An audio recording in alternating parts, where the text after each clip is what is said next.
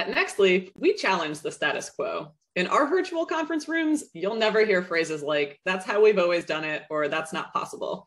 You're much more likely to hear, can we do it better?